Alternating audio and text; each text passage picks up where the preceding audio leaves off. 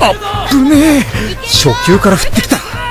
念のためシュートかけといてよかった。俺のシュートは金属バット相手じゃ問題にならない程度しか変化しない。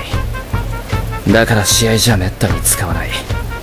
シュートを使うのはカズさんがバッターの力を測りかねてストレートに保険をかけてる時なんだ。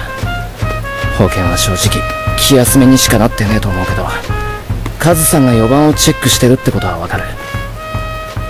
打てねえ4番の印象は捨てよう。こいつには気合入れてく。今の球手元でずれた。打席立たなきゃ分かんないくらいの変化だ。ビデオじゃ見逃したな。ストレートとタイミング変わんねえなら当てられっから関係ねえ。